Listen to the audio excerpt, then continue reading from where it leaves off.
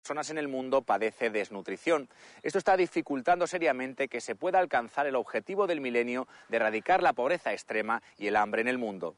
De todo ello hablamos en nuestro siguiente reportaje.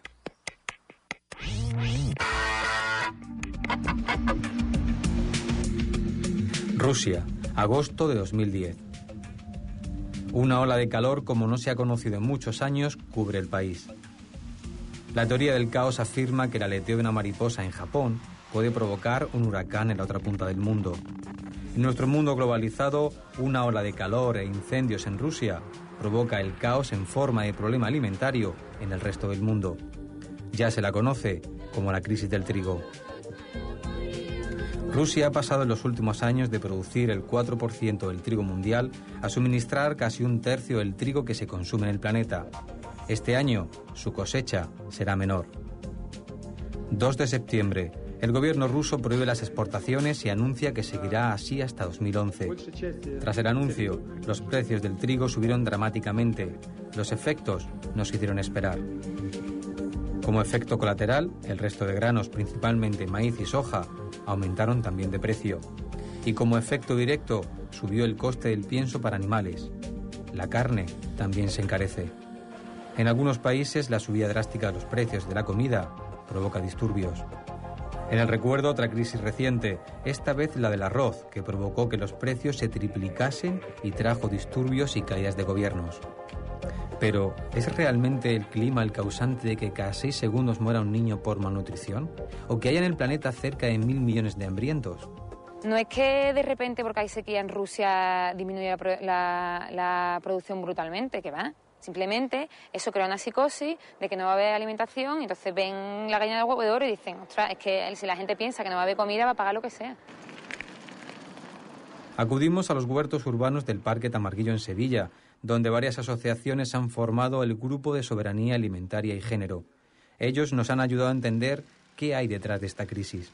Estos acontecimientos naturales no son, no son las causas de fondo de, la crisis del trigo. La crisis de eh, Rusia corta las exportaciones el 5 de agosto, pero ya en junio y julio de este año el incremento de los precios había sido brutal. Entonces, ¿qué es lo que ha pasado en Rusia? Un montón de, de, empresas extranjeras y un montón de magnates rusos han comprado grandes extensiones de terreno en Rusia y han hecho que Rusia sea un exportador de trigo barato para el resto del mundo. Entonces, con, esta, con estos incendios y con esta sequía, ha subido un poco el precio del trigo y se prevé que vaya a subir más. Entonces estos, estos grandes inversores han dicho, espérate, si no lo vendemos ahora y lo vendemos dentro de tres meses, esto va a ser un pelotazo. Ha habido muchas iniciativas de gente joven que, se ha, que ha querido apostar por ello, ¿no? por irse al campo, recuperar esas tradiciones, ese saber hacer local y esa agricultura tradicional y la verdad que eh, está muy complicado, está muy complicado. Lo que está surgiendo y yo creo que es muy positivo son redes de, productores ecológicos y redes de consumidores ecológicos, que yo creo que esa es la nueva vía de distribución para poder hacer mm, de la alimentación no un negocio, sino un derecho.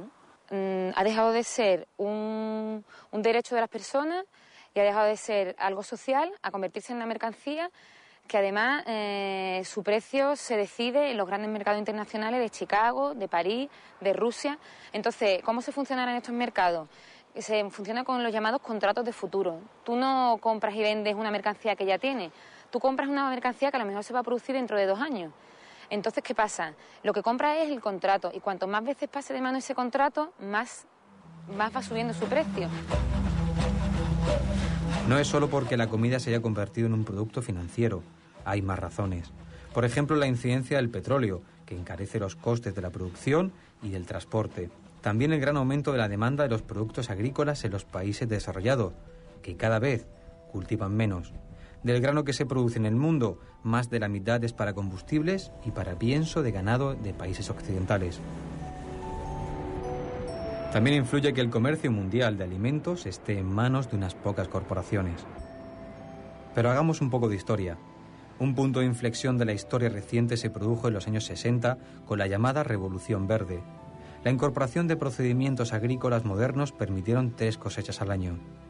Pero las voces críticas resaltan que no solo no acabó con el hambre en el mundo, sino que a largo plazo dificultó la viabilidad del modelo y dañó a los menos desarrollados.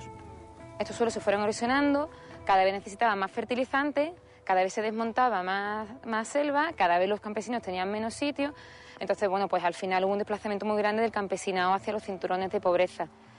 Y muchos de estos campesinos terminaron trabajando en los monocultivos de café, de plátano, de tabaco, a unos precios de risa, bueno, de risa no, de llanto.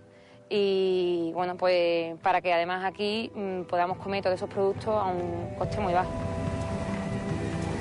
En la década siguiente los campesinos están cada vez más desplazados y las tierras más erosionadas y surgen problemas de ajuste estructural que intenta paliar los efectos negativos de la revolución. Le han quitado la capacidad de decisión a la gente que antes cultivaba su propia tierra. En los 80 y los 90, el Banco Mundial y el Fondo Monetario Internacional decide darle a los países del sur unos préstamos para que nos paguen a los países del norte eh, la deuda que tienen adquirida, ¿no? Pero estos préstamos no son gratuitos. Los préstamos tienen unos acuerdos por los que estos países del sur nos dejan meter nuestros productos sin aranceles.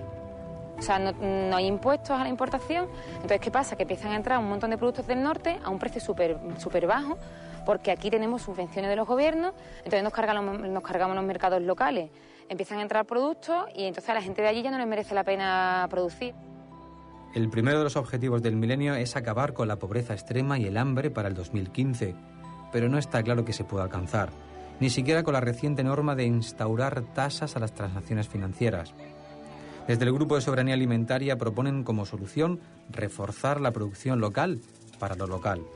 Fomentar los mercados locales, que el agricultor, el pequeño agricultor que tenga su huerta en donde quiera que la tenga, que pueda vender sus productos al consumidor local, que se pueda ir a su pueblo, a esa plaza y a, poder fomentar otro tipo de, redes de distribución, que siempre estamos ligados al sistema mundial de la distribución, eh, exportación y reivindicamos un poco ese papel ¿no? esa cercanía de campo a ciudad. Es cierto que la FAO anuncia que se ha reducido el número de personas que sufren desnutrición en el mundo, pero mirando un poco más lejos, esta es una bajada leve que desde que se empezaron los objetivos del milenio, ¿no? que sí, a reducir la mitad de la pobreza en el mundo, ¿no? han crecido los datos mm, exponencialmente además en los últimos ocho años, ¿no? pero lo que pasa es que sí que en los últimos dos años quizá bajó un poco. Sigue siendo una cifra inaceptable de gente la que sufre hambre en el mundo.